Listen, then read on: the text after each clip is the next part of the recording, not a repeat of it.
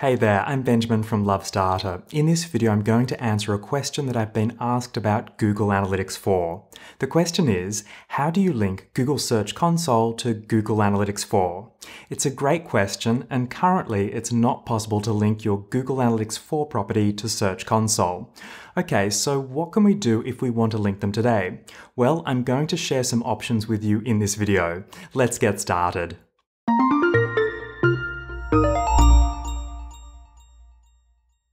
At the moment, the options to integrate Google Analytics 4 and Search Console are limited, but let's take a look.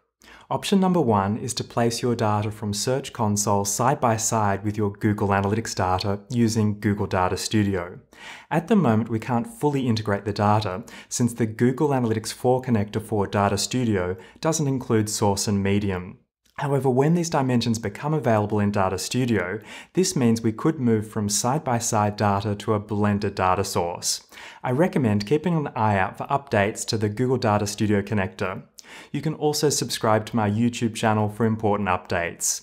Option number two is to manually export your data from Google Analytics 4 and Search Console and then combine the data in another platform. For example, you could export your data from your Google Analytics 4 property and then upload it manually to Google Sheets or Data Studio.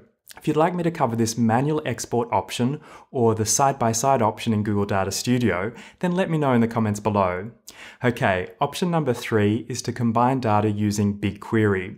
This is not something I've needed to do, but you could consider this option. It's going to be the most time consuming and technical option. Okay, number four is to link Search Console to a Universal Analytics property instead. You can use the inbuilt integration to connect the products and you're done. You can find a link to my video that covers linking in the description below this video. And if you only have a Google Analytics 4 property, check out my video covering the steps to set up a new Universal Analytics property. So there are four options you can use today, which leaves the final option, which is to wait for Google to release the built-in integration. I'm sure Google is working on this since we can already link Google Analytics 4 to Google Ads and BigQuery, so it's only a matter of time before this option becomes available.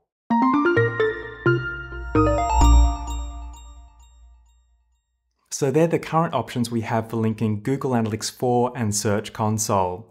Are you going to wait for the built-in integration, use a universal analytics property, or use one of the other options? I'd love to know. Let me know in the comments below. And if you found this video helpful, please subscribe, share it with your friends, and hit the like button so I know to make more videos like this. See you next time.